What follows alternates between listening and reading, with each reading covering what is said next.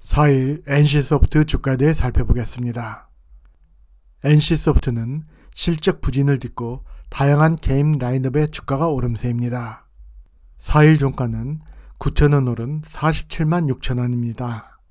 52주 최고가는 93만 3천원, 최저가는 41만 7천원입니다.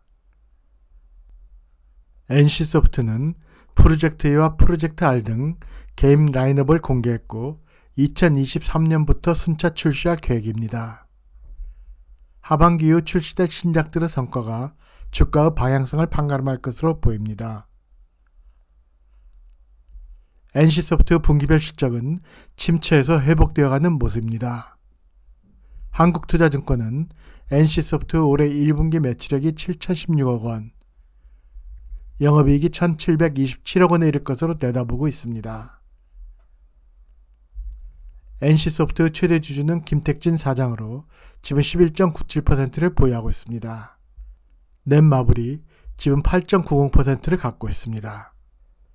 NC소프트는 외국인의 비중이 42.3%, 소액주주 비중이 57%입니다. 지난 한 달간 투자 주주별로는 개인은 16만 2천 주, 기관은 10만 주를 각각 순매수했습니다. 외국인은 27만 3천 주를 순매도했습니다. 이날 거래량은 전일보다 72%가량 증가했습니다.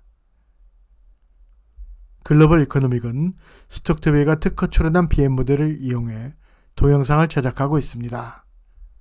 동영상은 참고용이며 투자자에 대해 어떠한 책임도 지지 않습니다.